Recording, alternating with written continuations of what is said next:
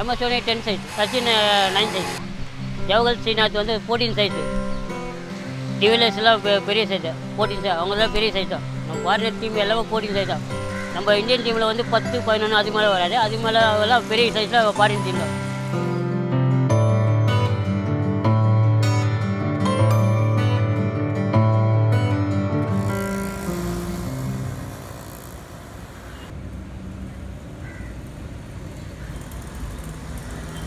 டிஎன்சியோடைய official காப்பிலர் நான் தான்.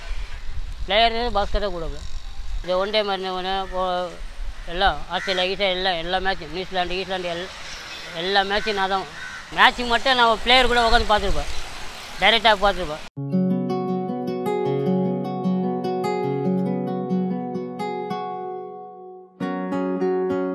Pad bat gloves helmet shoes bat ரிப்பேரை தவிர மீதி எல்லாம் பண்ணுவோம்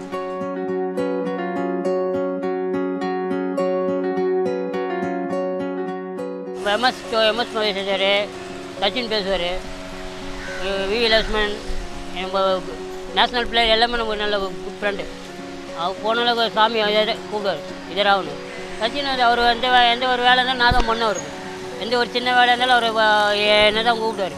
வேறு யாரும் வேறு யாரும் உள்ள அளவு பண்ண மாட்டாங்க.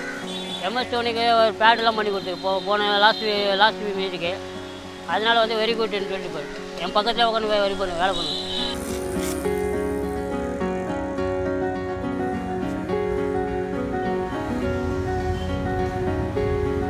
லோக்கல் பிளேயர்லேருந்து நேஷனல் பிளேயர் வரைக்கும் இன்றைக்கி நம்மளை கூப்பிட்றாங்கன்னா அதுக்கு அது அது ஒரு பெருமை தான். கில்கிறிஸ்ட்டு கெயிலு இன்றைக்கி நம்ம நியூசிலாந்து கேப்டன் இங்கிலாந்து கேப்டன் எல்லாமே தெரியும். ஜென்வான் டேவிட் வார்னர் எல்லாம் நல்ல குட் ஃப்ரெண்டு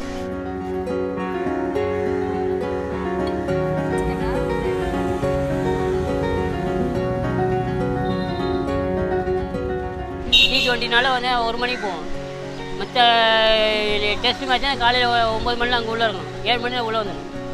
மேட்ச் டெஸ்ட்டு மட்டும். அப்போ நைட்டு மேட்ச் முடிகிற வரைக்கும் அங்கே இருக்கணும். அது எத்தனை மணி முடியுதோ எனக்கு எதுவும் தெரியாது. அந்த அளவுக்கு நாங்கள் அங்கே தான் இருக்கோம் பிளேயர் போன பாரு நாங்கள் வீட்டுக்கு போகணும்.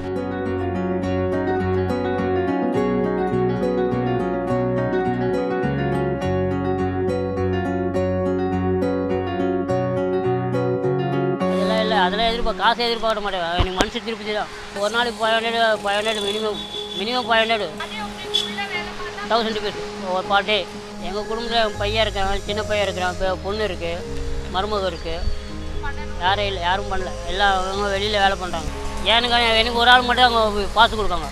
என் பசங்களை யாரும் அங்கேருந்து கூப்பிட்டு போக மாட்டேன். அதனால் மேட்ச் அனுப்போம் ரெண்டு டீட்டு வாங்கி கொடுத்துருவேன். உள்ளே ரெண்டு டீ டீட்டு கொடுப்பாங்க. அதை கொடுத்துருவேன். போய் மேட்ச் பார்ப்பாரு யாரும் ஹெல்ப் பண்ண மாட்டாங்களே அதான பிரச்சனை. இவ்வளோ வருஷமும் நம்ம எல்லாம் எல்லாம் பிளே பெரிய பெரிய பிள்ளைகளாம் பண்ணி கொடுக்குறேன். ஆனால் அந்த இந்த கடை வைக்கிற அளவுக்கு ஒரு வசதி இல்லையா. அதான பிரச்சனை. அதான் மனசு வருத்தமாக இருக்குது